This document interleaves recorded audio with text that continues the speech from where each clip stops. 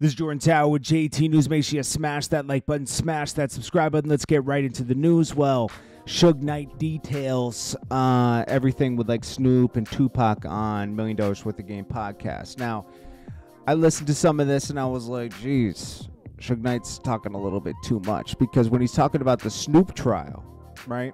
He's talking about how they beat the case. Uh, apparently like Snoop had a 380 and the, the bodyguard had a, a 9 millimeter and he said nah, the lawyers didn't think they could beat the case but then Suge was like nah the, the bodyguard will say he had a uh, 380 and Snoop had a 9 millimeter shooting 380 bullets right? And I was like whoa you know that's a little crazy bro. Like you're talking too much about the case that Snoop beat and but Snoop, I mean, the thing I do respect is Suge Knight put his whole company on the line. He borrowed five million dollars from Universal and told them if he blows the case, you can take my company. You know, like he was at risk of losing his whole company. Of course, he made that money back when Snoop Dogg beat the trial and they dropped the album, right?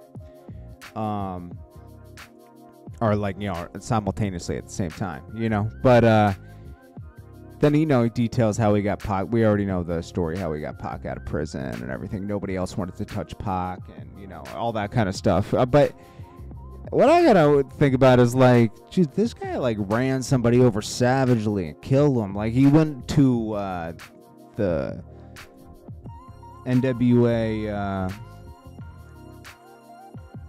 Straight Out of Compton movie and like started trouble. And this is why uh, Dr. Dre and them like just like Suge Knight says nobody will like mess with him in the industry because of this and that.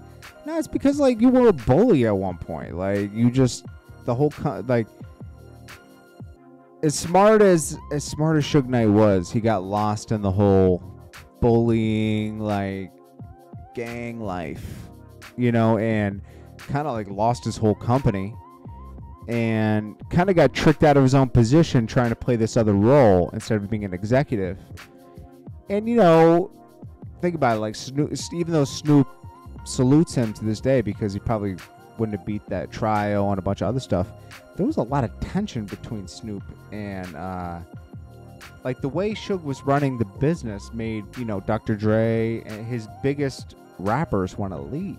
You know, as much as a movement they started, they they destroyed themselves. I mean, well, Suge Knight really destroyed the company, his own company. Um, and then you know he savagely ran that guy over. You know, just so much stuff. Now, what I did get from this is that how much Suge Knight really is petty because he really does not like Wack 100. Wack 100 went he went to the straight to the podcast where they had uh, static with Wack 100 over the Meek Mill stuff and you know, Wack 100 went on a million dollars with the game, and they had some static. And Suge Knight made sure he went to this podcast to specifically talk about all this stuff, which tells me he's real petty and really wants to get under Wack 100's skin. Because you know, he was talking about, oh, you know, Wack 100's just out here just insulting people now, and you know, just trying to get his cloud up, you know. And this guy was just, you know, around, you know, I don't know it's like they, they have their own beats. We we kind of broke this down before, but um also, another news Kanye West. He moves directly across the street from his old house with Kim Kardashian. I guess probably so he could be closer to his kids. People were thinking it's petty to get back with Kim and all this stuff. But, you know, really think about it. He has four children with Kim. You know, he wants to be closer to his kids, right? People think, you know, other stuff. You know, she, and, and who knows if the Pete Davidson thing is real, you know? That could just be for the Hulu show that they got coming out.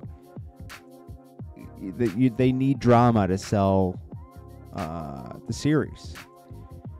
They completed their contract with E and moved on with Hulu and got a huge bag, you know. So they got they got to sell it, you know. And what sells anything better than drama? I mean, look, Tristan Thompson gives Khloé plenty of drama to deal with. We got the, there's always drama with these, you know, like, and some of it just happens, like the Travis Scott thing with Kylie. There's just so much stuff, you know. Then you got uh, uh, Kourtney, she's getting married to Travis uh, Barker. And then you got kind of like Kim like pretending like she wants to have that same type of life with Pete Davidson. I don't know. It's just spooky situation, man. But uh that's what's going on there. This is Jordan Tower with JT News. There's the house he bought. So, you know, four or five million dollars. Dropped it real quick to live across from his thirty million dollar mansion that he built. Maybe sixty million. I can't remember how much it is. But uh, anyways, I appreciate you guys, and I wonder if they're going to detail those details in the 50 Cent Snoop Dogg uh, murder was the case uh, little four part series. I think they're doing a four part series on that. That'll be interesting. This is Jordan Tower with JT News. Make sure you smash that like button, smash that subscribe button. I'll check you guys on the next one. Peace.